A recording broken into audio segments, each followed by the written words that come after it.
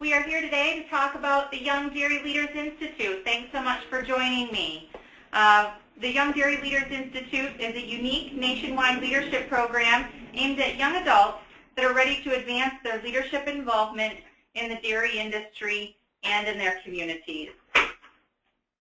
So I am Jody Hoynoski, Holstein Foundation Programs Manager, and I'm going to be leading this session today. Uh, you can feel free to enter questions uh, along the way as we walk through the presentation. Um, then we'll take uh, time at the end to answer your questions. The Holstein Foundation is the organization behind YDLI. Uh, the Holstein Foundation was established actually back in 1989. Uh, the Holstein Foundation uh, is a namesake of the Holstein Association. They put up the seed money to, to start the organization. Uh, but the great thing about our foundation is that we are open to uh, people involved with all breeds of dairy cattle. We are a nonprofit organization, a 501c3, a charitable nonprofit organization, and our vision is a dairy industry with vibrant leadership. So our programs focus on everything from youth to young adults, and uh, the Young Dairy Leaders Institute is really our cornerstone program uh, with targeting young adults. So why does the Holstein Foundation feel YDLI is important? Uh, we are facing great challenges in the dairy industry. I'm sure it's no secret to any of you um, today that the amount of farms, um, the number of farms is decreasing um, at, at, quite a rapid rate throughout the U.S. And the co consumer questions are also escalating at a pretty high rate. So the need for leaders has really never been greater. And YDLI addresses uh, the need with a unique niche. Uh, we're national in scope. Uh, so we take applicants from all over the country, and in fact, um, usually even a few international participants. Um, we also work with the participants to practice what you learn. You're held accountable, and you report back on your learning. Um, another uh, unique aspect, I think, if you've ever talked to any of alumni, um, is the network that you build um, through the YDLI participation. YDLI is for young adults ages 22 to 45. That's who can apply for the program. Um, I will say a common question I get is, okay, um, you know, what what do you recommend? What age range do you recommend I apply at? Um, my personal advice is uh, to get a little work experience first before you apply for YDLI. Say you just graduated college um, and you're and you're in the workforce. I'd get at least a year or two or three or four even experience under your belt, and I think it'll help you be more comfortable um, with your career so that you can really open your mind to everything we do and talk about in YDLI as a greater leader within the industry. Uh, we do invite dairy producers and allied industry members to apply for the program. Um, allied industry, that could be anybody in education, sales, marketing, um, but really we're just looking for people with a passion for the dairy industry. We accept up to 75 applicants in each YDLI class, and this is our ninth class coming up here. Uh, we will also consider international applicants, um, English-speaking international applicants for the program. Finally, just a note that we do not accept siblings or spouses in a class together. Um, this is uh, one element that makes YDLI a little bit unique, um, but we really try and focus on you as an individual when you participate in this program. There's individual assignments, and we want you um, to stretch yourself and meet more people. So with regard to what is involved in YDLI, we often describe YDLI as a three-phase program. And those three phases take place over a 12-month period. Some of the key elements are interactive classroom sessions, real-world applications for what you learned in the classroom, countless networking opportunities, and finally, I think what a lot of people will talk about, um, alumni of the program, is stepping out of your comfort zone. Uh, we will push you to do things that you never dreamed you could. So let's take a look at the three phases. So first, YDLI Phase 1. That is an on-site meeting with your class. So Class 9 Phase 1 program will be February 25th through the 28th of 2015 in beautiful Phoenix, Arizona. Um, so this is a new location for this class. We've been in Albuquerque, New Mexico the last few classes, and that's treated us well. Um, but we're, we're excited about the move to Phoenix. It's beautiful weather there year-round, especially beautiful the end of February when uh, those of you from other parts of the country are buried in snow and cold. Um, it's spring training time for baseball fans. It's a, it's a great golf getaway that time of year. So there's a lot of exciting things that brought us to Phoenix um, in addition to YDLI. So during our phase one program, we'll focus on individual leadership skills. Again, it is an individual program in YDLI, and phase one is really about understanding who you are and where you want to become as a leader. So next we have YDLI phase two. Phase two is that 12-month period between meetings where you will have monthly homework assignments. You'll work with a peer group and a mentor to report on your progress on those monthly assignments. And a lot of them will focus on consumer communication. We'll ask you to do things like send a letter um, to your uh, a media contact and introduce yourself as a, a resource for the dairy industry. Um, you'll be asked to do a consumer interview to understand how consumers make purchasing decisions. Uh, you'll also make a community presentation and develop an, your own advocacy project, which we'll talk more about a little later. Uh, phase three, so that's the final meeting with your class.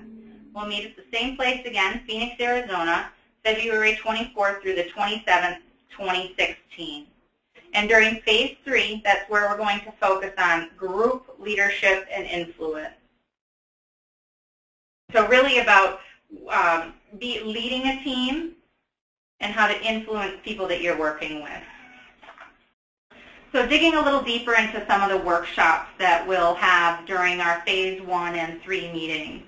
Um, phase one, um, the most popular topic that we cover is media training. Um, and this is really set up to help you answer tough questions and no longer fear and run away from the tough questions you might get from consumers, but to deal with them with confidence, with personal stories um, that, that can leave a lasting impact on your audience. Um, so there's, uh, it's pretty much a day-long media training session that we have with on-camera practice.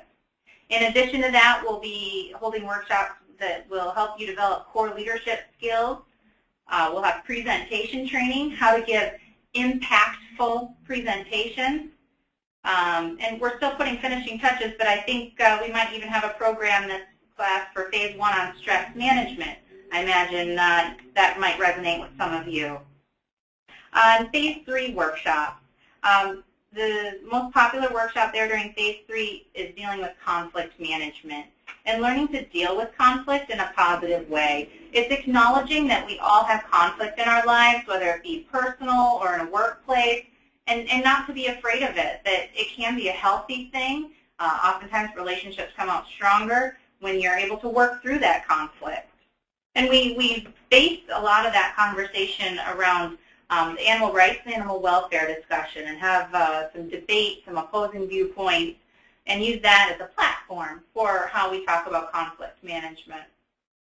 Additional things we'll talk about uh, for phase three would be advanced communications training as well as um, setting your sights on becoming a board member and group leadership skills, again, how to effectively lead a team. We'll talk about affecting public policy and also how to have influence. So then just taking a step back to phase two. Um, this is uh, where I mentioned you would develop your own advocacy project.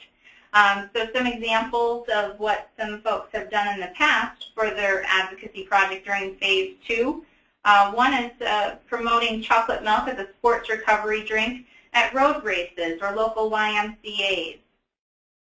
A popular one with YDLI participants is to visit a local classroom and provide an educational workshop promoting dairy products and our industry. Or finally organize a dairy day at a retail store, school, or on the farm. And one thing we really talk about with these projects is not just make it a one-shot deal. Um, make it something that's repeatable, that that somebody, you know, once you move on can step in and carry on your legacy. Really try to make something um, that has a significant and lasting impact. So I mentioned this a little bit before, but I thought this uh, quote summed it up very nicely, um, just relating to the networking and friendships that you'll gain as a participant, participant in the YDLI program. Melissa Sankey um, from Harrisburg, Pennsylvania graduated in our last class, and she says, attending YDLI was one of the best decisions I have ever made, personally and professionally.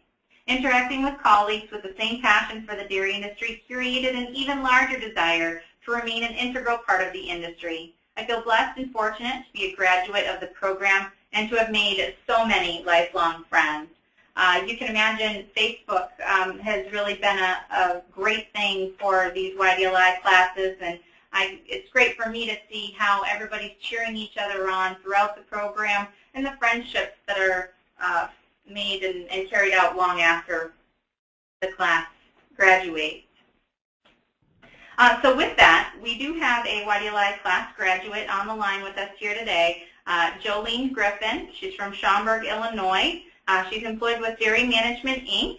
And uh, I'll turn it over to Jolene to share uh, a little bit of insight from her personal experiences with the program. Great. Thank you, Jody, and good afternoon, everybody, or I guess good morning for some of you who are on the West Coast. But I really appreciate the opportunity to be on the phone today to talk with you. I was just talking with Jody a few minutes before the webinar, and you know we were talking about uh, a recent class, uh, the Class 8 of YDLI, and how passionate we we all are for this program, and how excited we are that we had the opportunity. So appreciate uh, the few minutes that I get to chat with you about the program, and hopefully answer some some questions if you have any from someone who has participated as the daughter of dairy farmers and now someone who works for the National Dairy Checkoff, I um, really appreciated appreciated the opportunity to connect with other folks in the industry like myself who either grew up on farms and went back to the farm or maybe went into communications avenues or are working with farmers and nutritionist uh, capabilities or with animal health companies, that type of thing. You know, I've, I've seen a lot of my friends and colleagues participate in YDLI in the past and, and always uh, wanted to wanted to join and I'm glad that I applied a few years ago and was accepted because as Jody mentioned um, in one of her one of her comments is, you know, it really helped me to step out of my comfort zone. I think all of us do a nice job of promoting the dairy industry through conversations we have with you know, our friends who aren't involved in the dairy industry or through social media or through helping with on-farm events or that type of thing. But YDLI uh, introduced me to some new avenues of how I can tell my family's dairy story. So for example, um, you know, I had not connected with the media in my area, and I had not connected with our representatives from Congress. So just opening some of those doors has really helped me connect with those people in my area who are telling our stories or who are making some decisions that, that really in, impact my family and, and the dairy industry's future. So I appreciate uh, being put on the spot and being uh, forced out of my comfort zone, but with, with the encouragement of the, of the YDLI um, uh, program. You know, another thing that I really enjoyed about the program was uh, taking a step back and learning about myself. I know we, you know, in school we, we do a lot of different tests of who are we, that type of thing, but I think, you know, as someone who's been out of school for a number of years, you really see who you are as a person and you're able to take that information and build programs and build projects through your YDLI experience that really um, captivate and expand on those strengths and help you make those connections with consumers. It was also great to have that network of, okay, if I want to, you know, uh, bring in dairy products to an event, or if I want to reach out to this person, how do I do it? You know, having those resources behind you to say, okay, you know what, this avenue didn't work, but okay, how, how can I get my goals accomplished? So having probably that sounding board um, and, and others who are in the same in the same boat and trying to make those same connections really helped. And then I love that um, on the previous slide we saw a quote from, from one of my classmates and actually a, now a dear friend of mine, Melissa, um, and she made a comment that you know she really appreciated meeting people and building those friendships. And, and it's funny because when we left phase one, I made the comment to one of my colleagues here that I felt like I had 50 new friends. 50 new Facebook friends, 50 uh, new friends in, in real life. And it's been really, it's been really neat, really cool to watch all of us rally around each other, you know, over the past few years as people have accepted new jobs or had children or as they have uh, implemented their YDLI plans and projects, you know, we've all we've all backed each other up. We've all, you know, offered our advice or offered our congratulations when when events went over really well. So um, I'm someone who really enjoys making friendships and building relationships. So I think that's been one of the best experiences for me is having those connections and those friends all across the country because there are people who are in the same same shoes as me and who are experiencing the same things and and ultimately we're all wanting to better the dairy industry for for our children or our nieces and nephews. So um, I really enjoyed my YDLI experience and and you know if there's time I will stay on for the remainder of the webinar and answer any questions. But feel free to connect with me later if you want a, a you know a personal it, you know, if you want to chat with me or if you want, you know, just um, some advice about the program, I'm sure Jody would be happy to provide my contact information. Awesome. Thanks so much, Jolene. So, uh, like Jolene said, we'll come back um, for in a little bit for your questions, um, but let's touch base on a, a, question I'm sure some of you are wondering about, which is uh, the funding and the cost that might uh, be associated with attending YDLI. So the Holstein Foundation, as I mentioned earlier, is a nonprofit organization. Um, we are a fundraising organization. We uh, couldn't do what we do without the generous support of our donors and sponsors. So with that, we are able to cover program development, speaker, and meal costs for the program. For participants' responsibility, there is a $500 registration fee which covers both phases of the program. So you pay the one-time $500 fee up front, and that covers your participation in the entire program. Uh, you are responsible for your own air transportation and a shared hotel room. Um, so for air transportation, um, if you have, uh, say, a friend that's got some frequent flyer miles, or maybe you have some frequent flyer miles building up, um, this is a great time to try and use those um, shared, uh, uh, so I should also mention Phoenix is a major hub. That's another benefit of our move to Phoenix. Um, check airlines like Southwest. Um, they don't use uh, a lot of those sites that pull different information together, so make sure you check out all those options. I think JetBlue goes to Phoenix, so a lot of different options. Make sure you look at all of them uh, for your air transportation to get the best price um, shared hotel rooms. So we do our best to negotiate a, a good rate for the hotel. Um, I think uh, our rate is one, 120 or 130. I don't have that information right in front of me right now. Um, that's the total cost of the hotel room. We do arrange roommates for you to help save on hotel room costs and help you meet new people too. So to give you a little sample budget of what you can expect your costs to be to attend YDLI. Phase one, you would pay the registration fee up front of $500. Let's just throw out, for instance, that your flight might be $500. I think you can probably do better than that. Some of you, I'm sure, are pretty savvy.